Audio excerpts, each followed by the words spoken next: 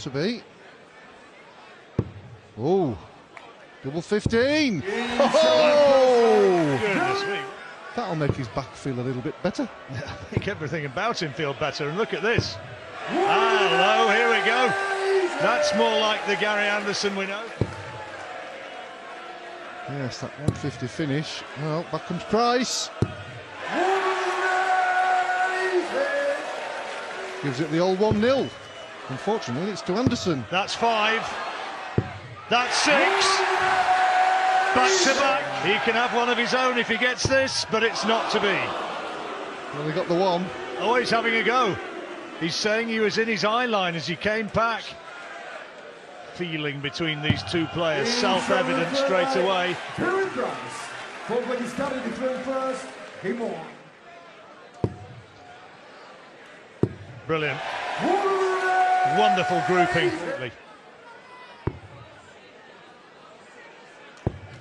Great darts. 155. Brilliant set. Despite that fantastic setup from Price.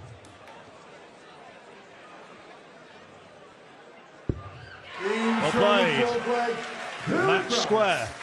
And again, a little bit of an observation from Gary and a sideways glance from Gerwyn. Not fully fit. Well, certainly after the first round encounters, because Gerwyn Price played very, very well. But Gary Anderson, he's got options here.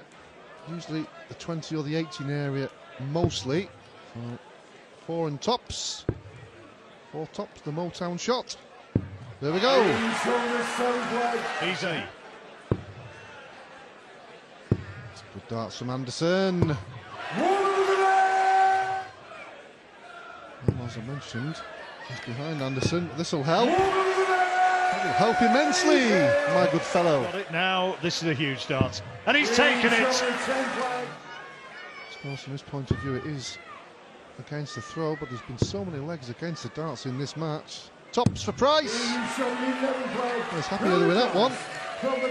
Few moments for shouting Gary, Gary, Gary. Good darts. It's dropped right down now to 96 though. He's gone off the boil, the Scotsman. Whereas Price gets his second maximum. Anything like that? Or the maximums even. Here we go. That's as good as a maximum. Superb darts again from Price, just when he needed to find big numbers. Now Anderson can finish it. Tops then for the match. There it is. He beats Gerwyn Price 10-6. He's in pain. There is a handshake. A polite handshake. Anderson moving.